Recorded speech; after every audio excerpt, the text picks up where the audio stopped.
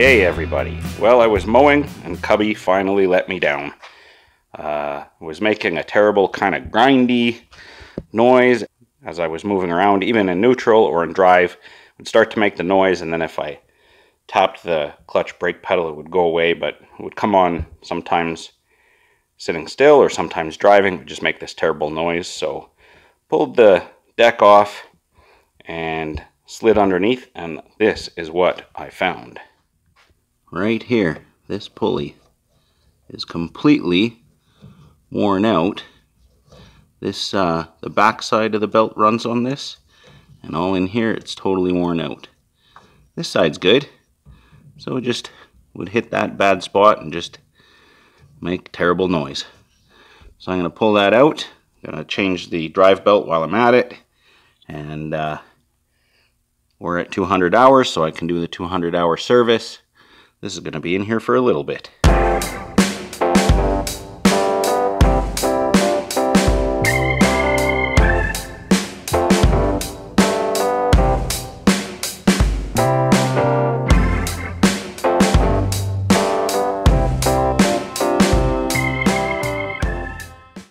Good evening, Shopcats. I've had an interesting day. Um, feel like I have a bit of a mild cold and it turns out I've tested positive for COVID-19. Yay!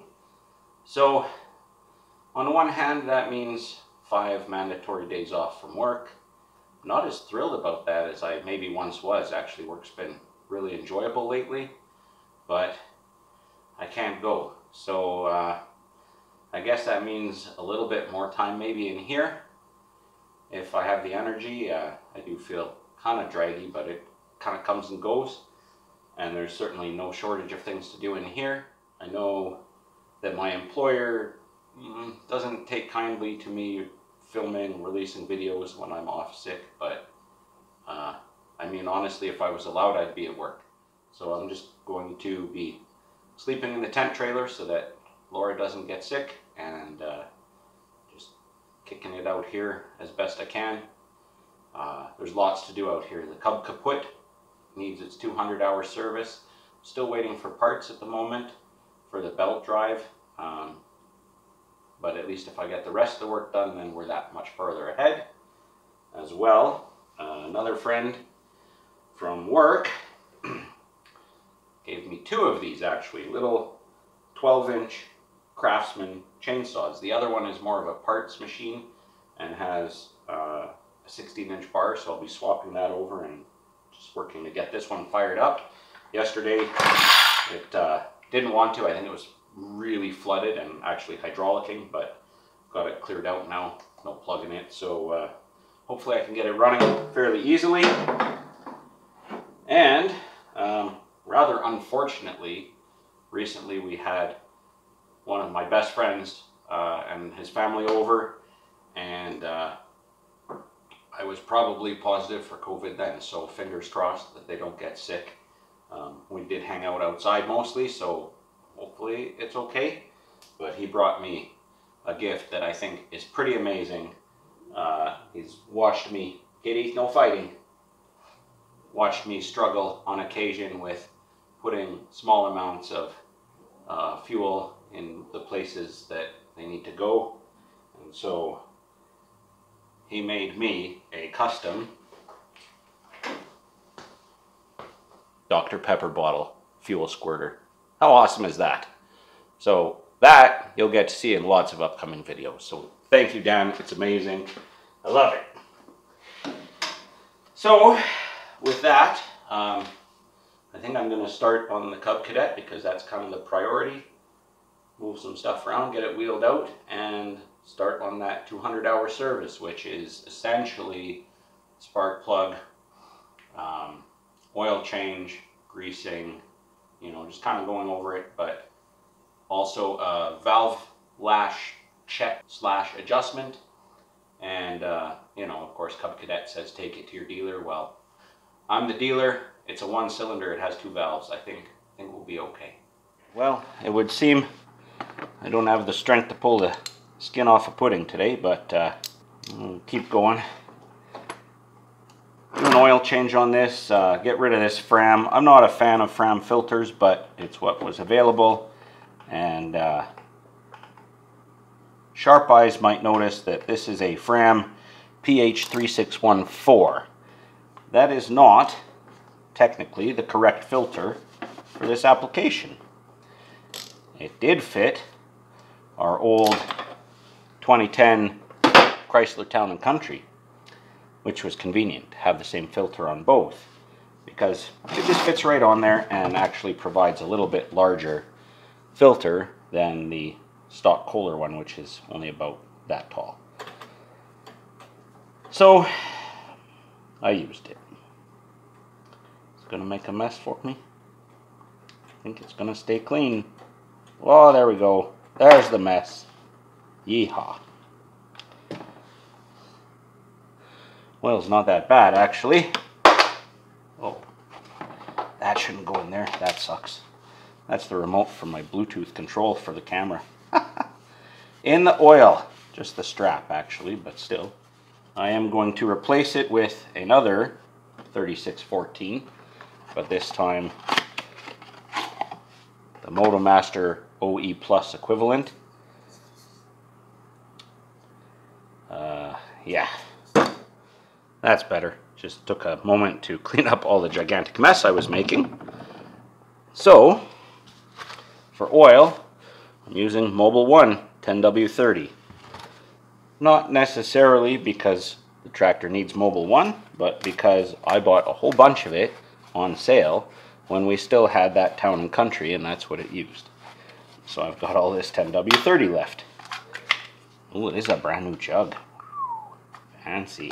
There we go.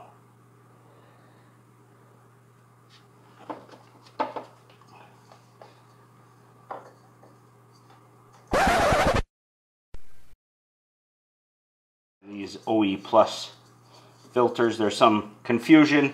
If you go to Canadian Tire's, you know, site, you look these up, there's people saying they're made by Fram and quite insistent that they're made by Fram. They're not made by Fram, they're made by Champ Laboratories, which is the same parent company of Luber-finer filters, which explains why these seem to be pretty reasonable quality. So I'm basically using these on almost everything. So that's done, and I'm to drain the oil straight into an old jug. Oh, what's in there? Ugh, I don't know what's in there already, but wow, that's nasty. Oh, that's not how that's supposed to come off. Just as effective though, I guess. So, they're nice enough to give us a little clip to hold the hose up and a little hose for draining. So that's actually really convenient. Yeah, this one's metric, this one's standard, but it's okay. They'll be alright.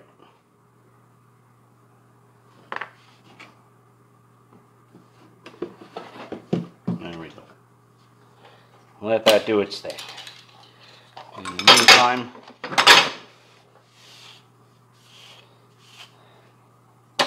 I'm going to pull off the top cover and the air filter so we can get to the front and do the uh, valve adjustment.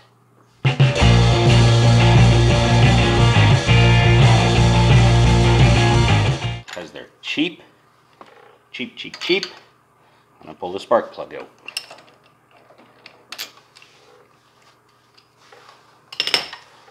Cheap, cheap, cheap, cheap, cheap. Literally like $7 for two.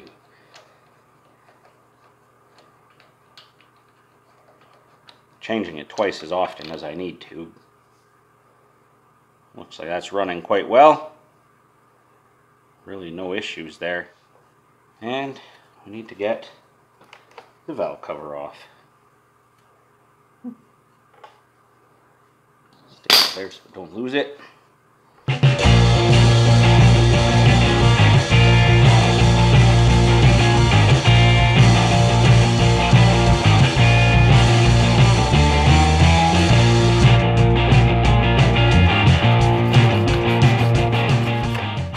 Just don't want that dirt falling in the into there if I can help it, but now the cub kaput has COVID. Sorry, cubby. Oh,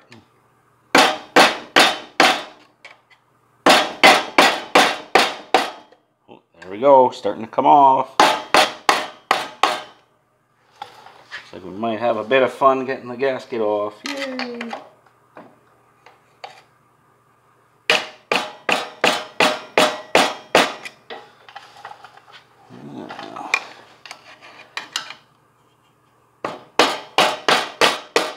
There we go.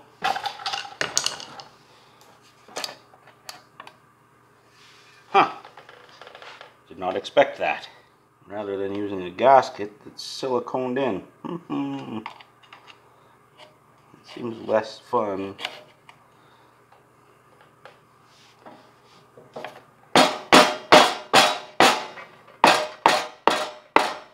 Moving now. There we go.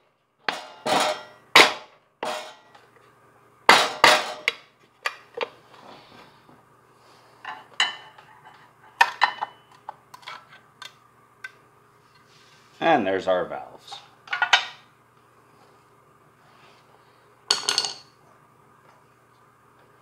So we're going to rotate our engine until we're at top dead center, which uh, essentially means both valves are going to be sloppy, and uh, they sure are. So you can even determine top dead center with right there. There's our piston at top dead center, and that'll be the compression stroke. Probably somewhere timing mark on it. But we know we're there. Certainly close enough to check our valve lash, which uh,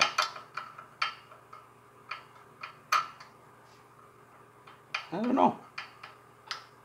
Might be within spec. Well, thus ends day one. Just me and Mr. Stratton here in the trailer. Can't even see him, it's too dark, but uh, didn't get as much done as I wanted to, but just ran out of steam, so wanted to, uh, I don't know, maybe watch some Obi-Wan Kenobi or something and uh, hit the hay. So, good night. Keep it in a litter box. Cheers.